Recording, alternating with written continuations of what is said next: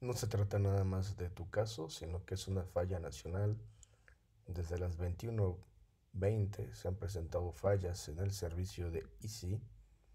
Como podemos ver aquí en Twitter, hay muchos usuarios denunciando las fallas y los cortes. Aquí en el mapa de Down Detector vemos como principalmente en la Ciudad de México, Guadalajara, Mérida, Monterrey, Tijuana, pues en la mayoría de las ciudades importantes del país, con más habitantes, están presentando estas fallas. Así que no es nada más tu computadora, tu conexión, sino que es ya la segunda falla nacional de ITSI en pocas semanas. Em, ¿Está fallando en tu ciudad?